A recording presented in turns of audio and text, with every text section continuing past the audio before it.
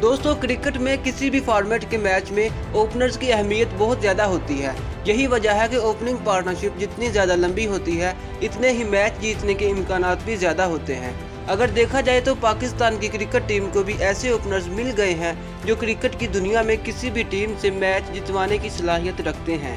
आज हम इन्हीं में से एक ऐसे पाकिस्तानी ओपनर की बात करेंगे जो अब तक बड़े बड़े रिकॉर्ड्स अपने नाम कर चुका है। दोस्तों, आज हम बात कर रहे हैं इमामुल हक के बारे में और आप जानेंगे कि इमामुल हक कहाँ पर पैदा हुए कहाँ से क्रिकेट सीखी और किन किन मराहल से गुजरकर वो पाकिस्तान की कौमी क्रिकेट टीम में शामिल हुए। लेकिन इससे पहले दोस्तों, आपसे गुजारिश है कि हमारे चैनल को सब्सक्राइब करें ताकि आप अजीम पाकिस्तानी शख्सियात के बारे में जान सकें और हम भी इन वीडियोज़ का सिलसिला जारी रख सकें। दोस्तों, इमामुल हक 22 दिसंबर उन्नीस को लाहौर में पैदा हुए। वहीं से अपनी अब्तदाई तालीम हासिल की और क्रिकेट भी वहीं से सीखी। इमामुल हक पाकिस्तानी क्रिकेट स्टार इंजमामुल हक के भतीजे हैं, जो पाकिस्तान की टीम के कप्तान भी रह चुके हैं और अपने कैरियर में पाकिस्तान के लिए बेशुमार खिदमत सर अंजाम दे चुके हैं। इमामुल हक के खानदान का ताल्लुक मुल्तान से है। इनके अबावजदाद उन्नीस में पाकिस्तान की आज़ादी के बाद इंडिया के रियासत हरियाणा के शहर हांसी से हिजरत करके पाकिस्तान आ बसे थे।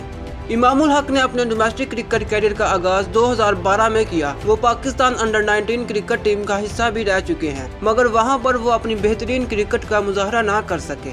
दोस्तों, इमामुल हक ने अपने डोमेस्टिक क्रिकेट कैरियर में शानदार क्रिकेट खेली, जिसमें इन्होंने 2016-17 की कायद अजम ट्रॉफी के फाइनल में 200 रन की इनिंग्स खेली और 2017-18 के नेशनल टी ट्वेंटी कप के फाइनल में इन्होंने उनसठ रन बनाए और मैन ऑफ़ द मैच का अवार्ड हासिल किया। इनकी इसी कारकर्दगी की बुनियाद पर इन्हें पाकिस्तान सुपर लीग में खेलने का मौका मिला और अब वो पिशावर जलमी की तरफ़ से खेलते हैं। तो दोस्तों, अब बात करते हैं इमामुल हक के इंटरनेशनल क्रिकेट कैरियर के बारे में। अक्टूबर 2017 को इन्हें श्रीलंका के खिलाफ वनडे सीरीज़ के लिए पाकिस्तान के स्क्वाड में शामिल किया गया। जिसमें इन्होंने 18 अक्टूबर 2017 को श्रीलंका के खिलाफ ओडीआई में डेब्यू किया। अपने पहले ही मैच में इन्होंने सेंचुरी बना डाली और यूँ वो पाकिस्तान की तरफ़ से वनडे डेब्यू पर सेंचुरी बनाने वाले दूसरे पाकिस्तानी क्रिकेटर बन गए। 11 मई 2018 को इमामुल हक ने आयरलैंड के खिलाफ टेस्ट में डेब्यू किया और मार्च 2022 को इन्होंने ऑस्ट्रेलिया के खिलाफ टेस्ट सीरीज़ के पहले मैच में सेंचुरी बनाई। 5 मई 2019 को इमामुल हक ने इंग्लैंड के खिलाफ टी इंटरनेशनल में डेब्यू किया और अब तक इमामुल हक सिर्फ़ दो टी ट्वेंटी इंटरनेशनल मैच खेल चुके हैं।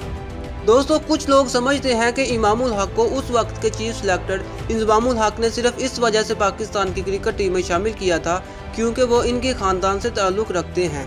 मगर इमामुल हक ने अपनी शानदार बैटिंग की वजह से इन सब बातों को गलत साबित किया। अब बात करते हैं इमामुल हक की इंटरनेशनल क्रिकेट के रिकॉर्ड्स के बारे में। इमामुल हक सिर्फ़ 20 ओडीआई इनिंग्स में हज़ार रन बनाने वाले दुनिया के दूसरे बल्लेबाज हैं, जबकि पहला नंबर भी पाकिस्तान के ओपनर बल्लेबाज फखर जमान का है, जो सिर्फ़ 19 इनिंग्स में हज़ार रन बना चुके हैं। 20 जुलाई 2018 को जिम्बाब्वे के खिलाफ खेली जाने वाली वनडे सीरीज़ के चौथे मैच में इमामुल हक और फखर जमान ने 304 रन की पार्टनरशिप बनाई, जो इस वक्त ओडीआई में पाकिस्तान की तरफ़ से सबसे बड़ी पार्टनरशिप है। इनकी इस इनिंग्स ने पाकिस्तान के मजमू स्कोर को तीन सौ निन्यानवे रन तक पहुँचा दिया।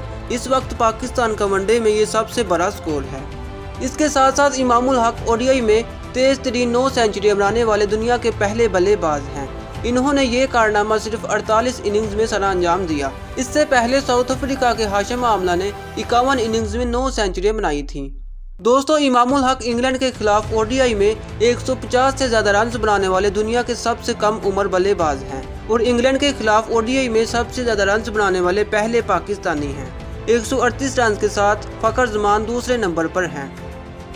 इमामुल हक वनडे इंटरनेशनल में चवन की एवरेज से 9 सेंचुरियों और 11 नसब सेंचुरी की मदद से मैचों में तेईस सौ रन बना चुके हैं।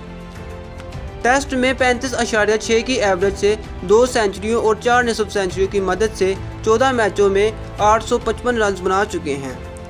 जबकि टी ट्वेंटी इंटरनेशनल में सिर्फ़ दो मैचों के अवध इनका स्कोर 21 रन है।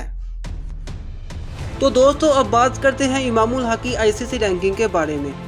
इमामुल हक ओडीआई में सात सौ पचानवे पॉइंट्स के साथ तीसरे नंबर पर हैं, जबकि पहला नंबर बाबर आज़म का है और दूसरे नंबर पर इंडियन मायानाज बल्लेबाज विराट कोहली हैं।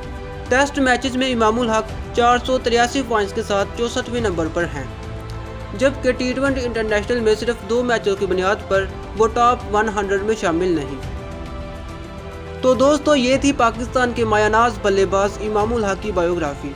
अगर आपको ये वीडियो पसंद आई हो तो इसको लाइक करें और हमारे चैनल हाउ आई ग्रो को सब्सक्राइब करें। शुक्रिया।